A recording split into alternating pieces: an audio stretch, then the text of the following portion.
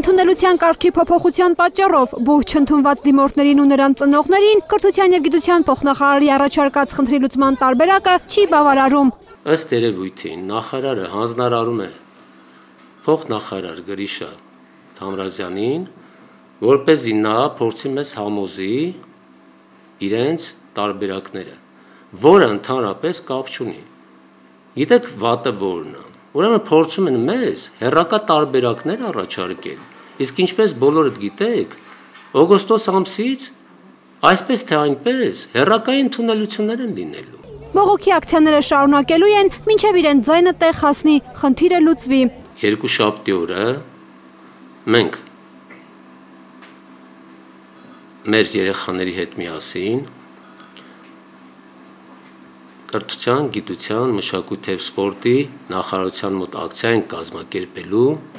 եւ պահանջելու ենք նախարարի հետ հանդիպում ու շեշտում եմ միմիայն նախարարի հետ Ակցիաները կշարունակեն, բայց որոշել են նաև դատարան դիմել, չորեքշաբթի հայցը վարչական դատարան կուղարկեն։ Եթե ընդունենք, որ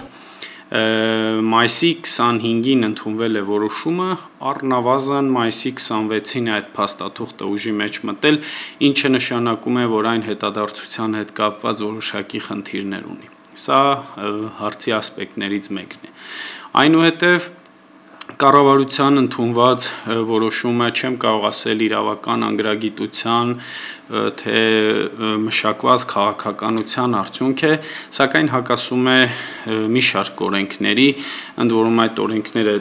մարտավարական առումով թույլ տվեք այս բան չի հիշատակել, քանի որ